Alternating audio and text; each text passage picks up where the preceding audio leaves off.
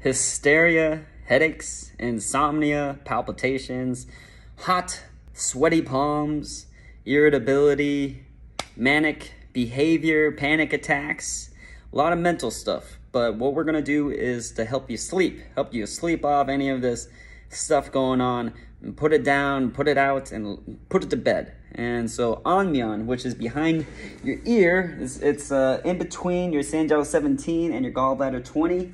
And right in the middle of it is An Mian, peaceful sleep.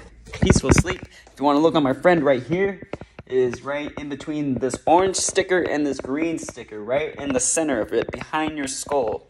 It's easier to show you on him, a little bit more difficult to show you on myself, but if you just find gallbladder 20 and then right below your earlobe and in this, like right in the middle of both of those would be peaceful sleep. And if you combine that with heart 7, which is spirit gate, that is right on your wrist crease, right here. See that little baby? I'll show you on myself. It's right uh, below your pisiform bone and then right in uh, the radial side of this tendon.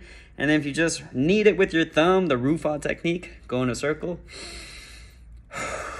One of the best points for insomnia and calming you down, calming down your shen.